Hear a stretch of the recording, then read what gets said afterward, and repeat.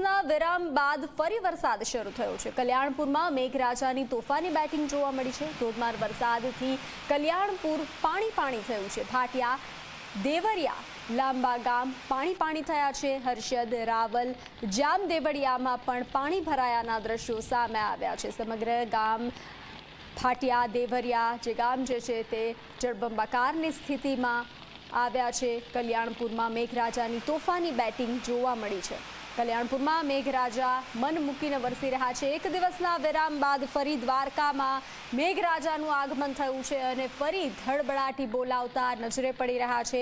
કારણ કે કૃષ્ણનગરી જળબંબાકારની સ્થિતિમાં હતી.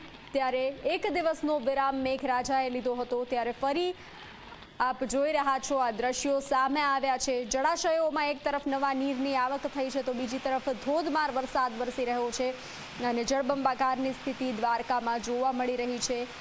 જળાશયોમાં નવા નીર આવ્યા છે.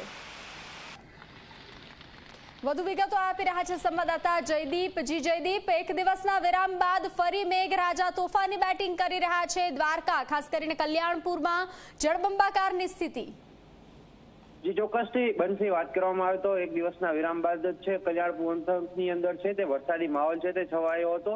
જાણે મેઘરાજા મન મૂકીને વરસતા હોય તેવા નહીં, પરંતુ મેઘ તાંડવ છે તે ક્યાંક ને ક્યાંક છે તે જોવા મળી રહ્યો છે. દ્વારકા જિલ્લામાં આજે એક દિવસના વિરામ બાદ છે તે ફરી વરસાદી માહોલ છે તે છવાયો હતો. દ્વારકાના કલ્યાણપુર વિસ્તાર છે કે જ્યાં ભાટિયા, દેવરિયા, લાંબા હર્ષદ રાવલ જામદેવડિયા લાંબા સહિતના અનેક ગામોમાં છે તે મુશળધાર વરસાદ છે તે વહેલી સવારથી જ વરસી રહ્યો છે.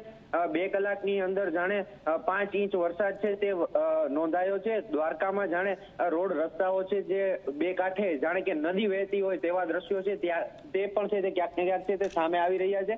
અને મેઘરાજા છે તે હજુ પણ છે તે તોફાની બેટિંગ કરતા હોય તેવી પણ છે તે હવામાન વિભાગ દ્વારા છે તે એલર્ટ કરવામાં આવ્યું છે. જીવનસિંહ જી, જયદીપ, જાણકારી સાથે જોડાવા બદલ આભાર. સુરતમાં ભારે